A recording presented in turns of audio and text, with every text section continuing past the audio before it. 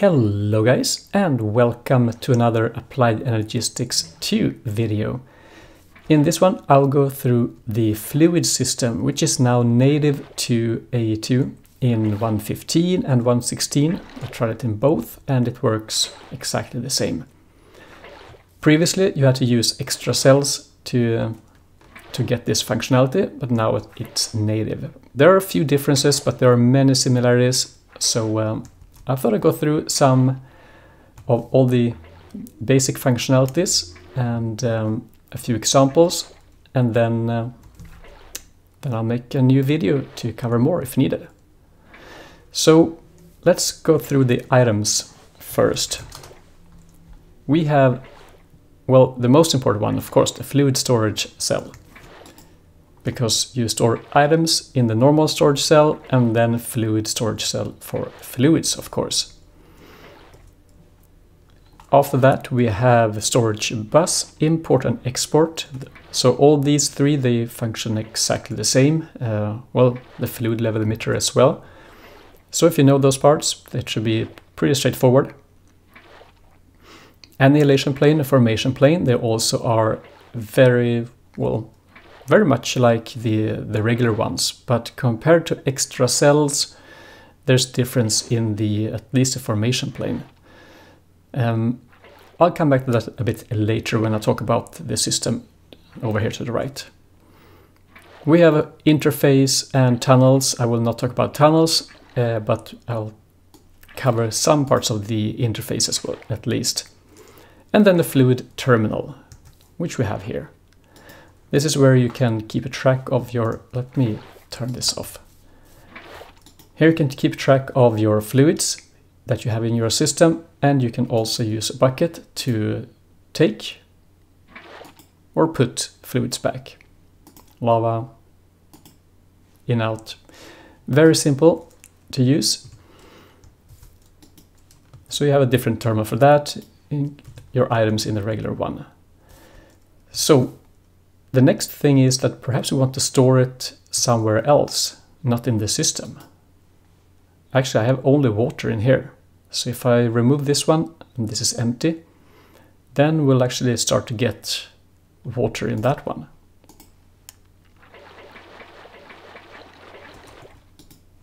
Back to 10, if I put this one back, we should have, well, 21. Okay, that's good. Uh, but the lava, it's over here we have a tank here uh, filtered to lava. And we have 25 buckets here as we can see here. And this storage bus has the only priority plus one setting but no filters at all. Because I filtered this one I don't need to. But I could leave this blank and then have the the lava put here instead. Just do like that so like a regular storage bus. Uh, so all our lava will end up here until we're full, of course, then it will end up in this system. And when we take and put, or oh, extract or put back lava, this storage bus will keep it over here. Okay, that's pretty basic. We have import and export. If I import lava from this block by doing uh, import bus like this and then you connect it then it will just suck the lava back into the network. In this case perhaps create a loop but it will work with any fluid. Alright, so let's move on to this build. If you have seen this before but with extra cells, it's because I made a video of this around a few years ago. But there are a few, some difference in how the formation plane works, so that's why this looks a bit different. The formation plane will only place a fluid when you put it into the network. Um, and that's the same with a normal formation plane. So to make this Obsidian production site functional, I need to have a small subnet here you can see it's powered from these uh, fibers. You only need one, but I like to put two. And so this interface and this formation plane, they are, well, They are a, a network of their own. And like you see here that I've filtered on lava over here.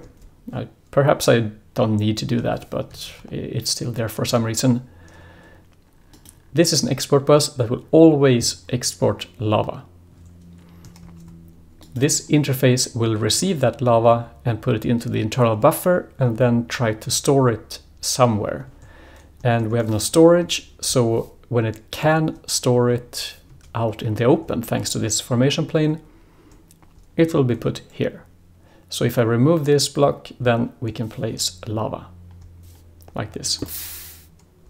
Simple.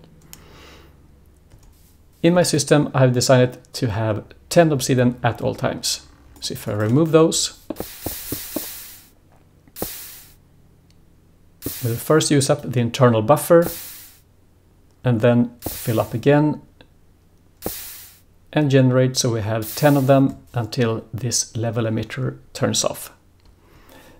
So on this side we have a setting on this level emitter to keep 10 obsidian and we will emit a redstone signal when we are below 10. That will turn on this toggle bus and that will in, in turn activate this annihilation plane. So make sure to save a channel for, for this path. And that will break the obsidian, send it in, and when we have 10, this will turn off, and then we will not break it anymore, and the system goes back to this steady state. So if I take half of them away, empty, off, refill, and repeat. We can also use auto crafting for this.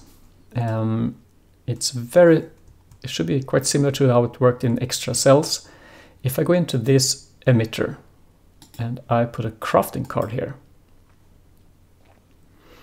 and I have this setting to be emit redstone to craft obsidian, then this uh, level is inactive.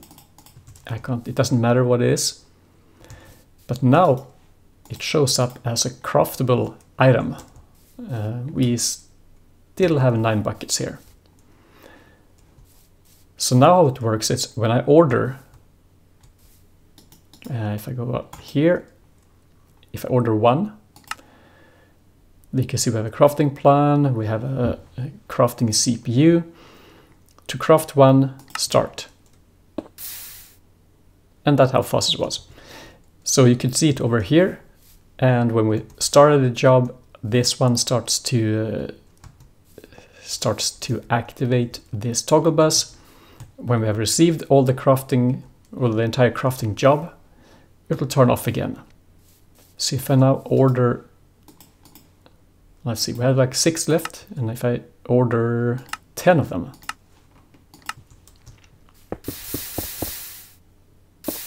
we quickly got our first, but now we're out of lava, I think. All right, we should have enough. We have the internal buffer plus that one. But Anyway, now we have our 10. This is turned off. That one is free. And we have the 10 here. But now if we order 10 more, then it will halt.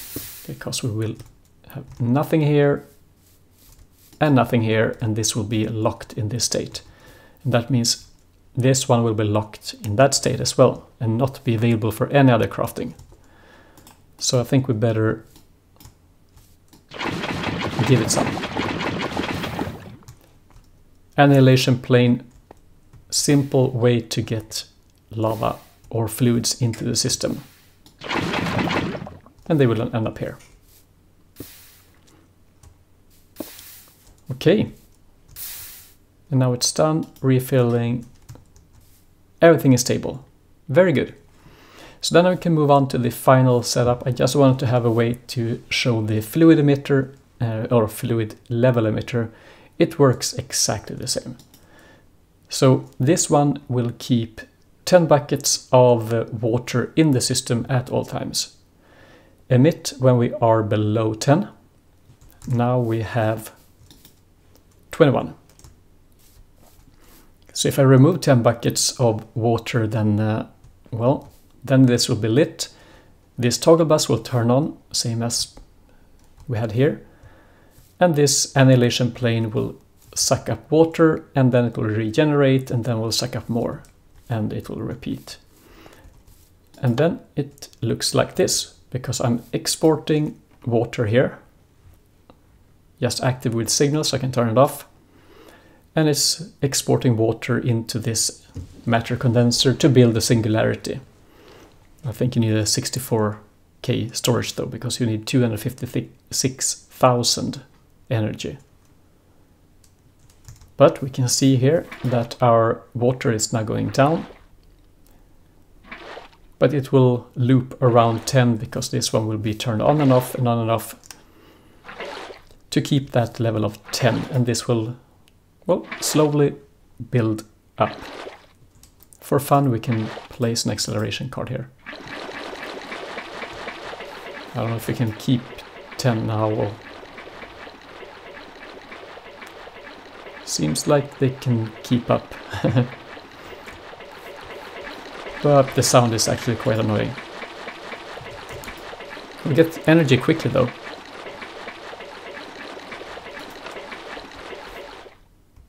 Alright, so I think that's pretty much what I wanted to cover in this video. I might make another one. Uh, but uh, make sure to check the video description and playlist for more information if you have questions, you know where to post them. And uh, well, thanks for watching, and I hope I'll see you in the next one.